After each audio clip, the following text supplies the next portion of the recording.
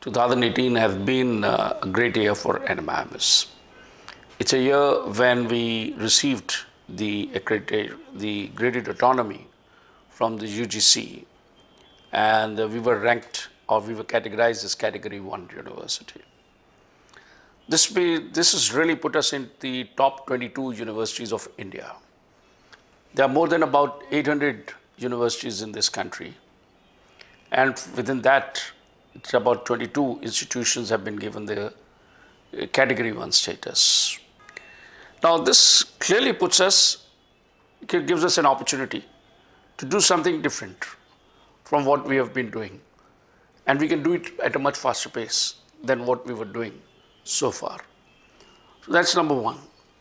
Second, it is from the perspective of the AACSB, particularly for the business school. The AACSB accreditation now has put the business school in league with 800 international business schools or the business schools in the world who, that have an AACSB accreditation. Now there are more than 16,000 business schools in the world and only 800 with the AACSB accreditation. So NMIMS School of Business Management joins that league of 800.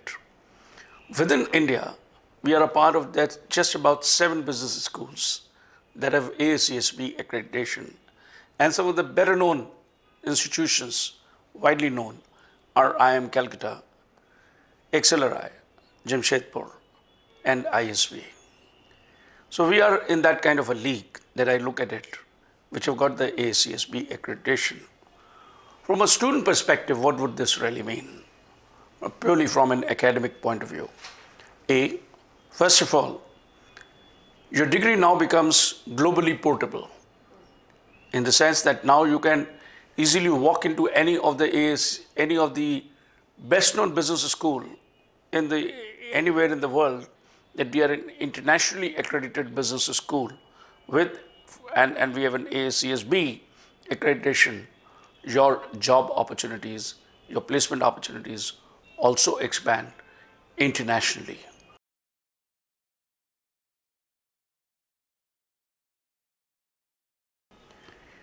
We see NMIMS entry in global ranking through the business school.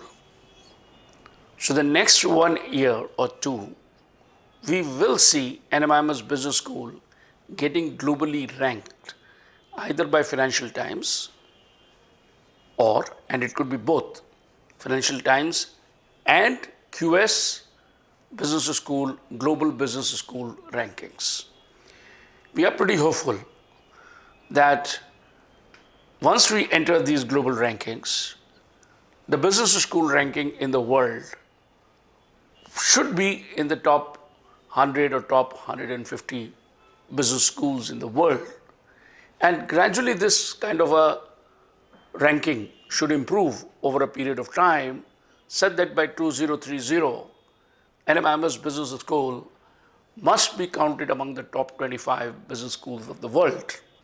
In the NIRF, I'm looking at the business school coming in the top 10. And in the media ranking, I'm visualizing our rank to be among the top five.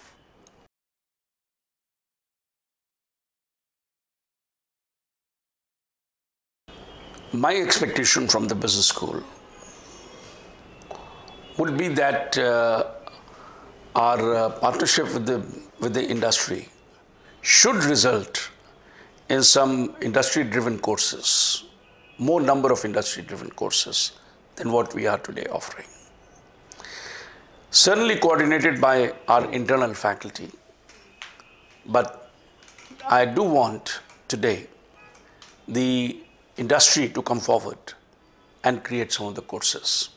Let me give you an example. Artificial intelligence today is a much talked about kind of a technology. It's a fact that today uh, artificial intelligence is going to be influencing uh, your choices.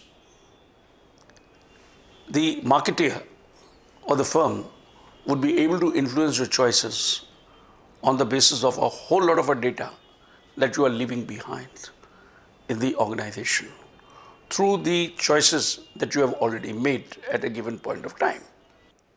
So if we are able to, to bring some faculty from, say, the banking industry or from the airline industry or from the e-commerce industries, firms, whether this is Amazon, for example, or it could be the Flipkart, or it could even be Google, for example, who would talk essentially about the Amazon, or the, the artificial intelligence, for example. It is not just merely from a technology perspective, but it would be more from a business perspective, more from a managerial perspective. AI as it influences, let's say, the product design, AI as it influences the pricing decisions, AI as it affects, let's say, your ability to deliver to the customer, your customer services, etc., and any kind of a new product designs, etc. So there could be a whole range of issues that are there today related with that you can better understand in the market with AI.